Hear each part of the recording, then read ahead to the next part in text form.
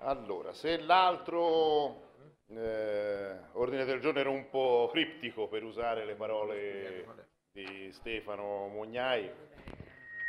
questo è un po' più chiaro, diciamo, ed è stato anche un argomento abbastanza discusso nel contesto della commissione, tra l'altro, e diciamo, tuttavia si è portato dietro un errore come ho sottolineato durante la discussione della legge prima,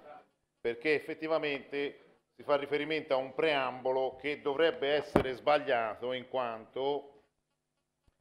in quanto all'articolo 88, così come è uscito dalla Commissione della legge 33, si legge che il Consiglio sanitario regionale è organismo tecnico consultivo della Giunta regionale e del Consiglio regionale. Quindi effettivamente eh, è stata accolta poi in Commissione eh, la richiesta eh, nostra del, dell'opposizione di eh, considerarlo anche organismo eh, consultivo del, del Consiglio. Tuttavia il punto 12 del preambolo dice il Consiglio sanitario regionale, in ragione delle sue competenze tecniche che gli sono proprie, espleta le funzioni consultive nei confronti della Giunta regionale quindi va aggiunto e del Consiglio regionale, c'è un piccolo errore che va corretto eh, nel preambolo. Tuttavia è anche vero che questo nostro eh, ordine del giorno eh, si riferisce al fatto più volte sottolineato dagli interventi almeno dell'opposizione e in parte sia in commissione sia eh, qualcuno della maggioranza ha sottolineato quanto si corre il rischio di fare un po' da passacarte della Giunta, cioè di svilire un po' il ruolo e la sovranità di questo Consiglio. E quindi la raccomandazione diventa quella di fare in modo che ci si riappropri all'interno di questo Consiglio di un valore di sovranità.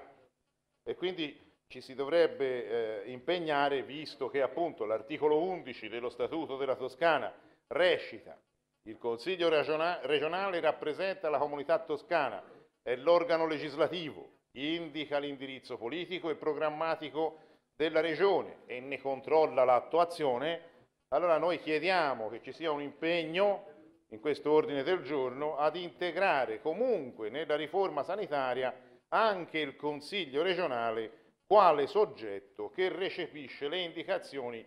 di tutti gli organismi consultivi eh, previsti, ma che naturalmente ha anche il significato di poterli utilizzare gli organismi consultivi eh, previsti. Così come il Consiglio regionale eh, dovrebbe avere, e l'ho sostenuto anche rispetto alla carenza di dati epidemiologici da cui secondo noi, perlomeno non abbiamo visto i dati, parte la eh, riforma, eh, come lo è anche l'Agenzia regionale di sanità la quale per esempio dovrebbe eh, nel prossimo anno probabilmente produrci dei dati più puntuali rispetto al fatto che i comuni non hanno i referti epidemiologici, evidentemente per problematiche di carenza di personale nelle ASL, per problematiche di epidemiologi che non sono in numero sufficiente,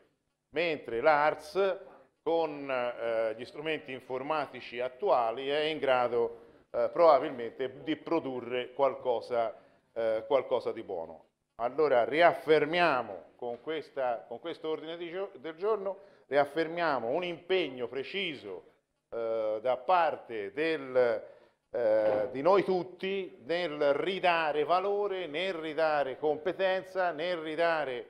un, eh, un sistema di validazione di tutto il percorso che viene fatto a livello regionale all'interno eh, del Consiglio regionale.